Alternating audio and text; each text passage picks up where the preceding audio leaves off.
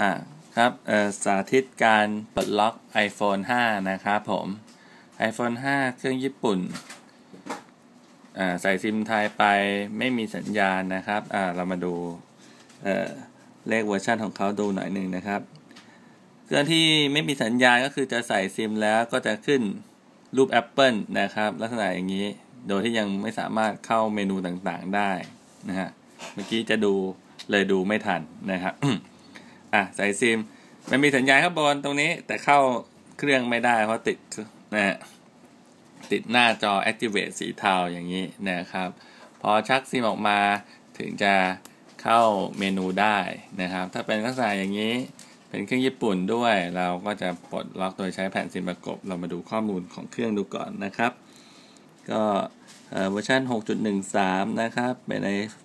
โมเดล J นะครับ โมเดล J ยิมีตามนี้นะครับ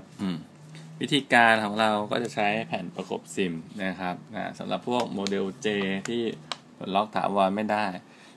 ใส่แผ่นประกบซิมเข้าไปนะครับ การใส่แผ่นประกบซิมของเรานะครับ ก็จะเอามีชุดของมันเป็นชุดโครงโบอยู่นะครับ วางแผ่นประกบซิมเข้าไปนะครับ ในช่องนะครับ ตามด้วยซิมของเราที่เราจะใช้นะครับนะ แปะอยู่ข้างบนนะครับ ในทิศทางเป็นอย่างนี้นะครับ ตัวแผ่นประกบซิมอยู่ข้างล่างนะได้แล้วตามนี้นะครับ เราก็เอาเครื่อง เอามาใส่ที่เครื่องเข้าไปในช่องนะครับ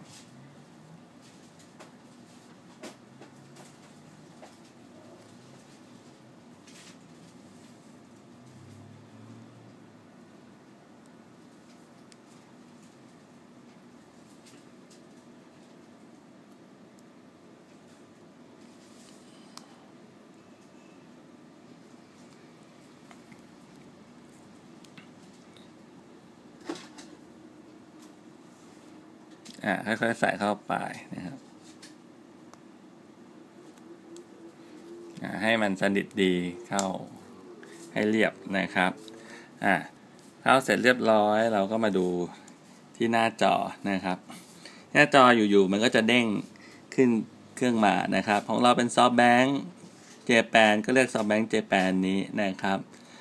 เป็น iPhone 5 ก็เลือกอันนี้ iPhone 5 นะครับ มันบอกว่าจะ restart เครื่อง เรากด accept ที่อยู่ข้างล่างนะครับ แล้วก็ทำการ restart เครื่องทีหนึ่งด้วยตัวของเราเองโดยการปิดปุ่ม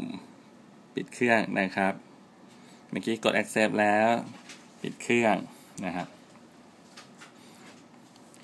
ปิดเครื่องแล้วรอสักพักหนึ่งก็จะเปิดเครื่องใหม่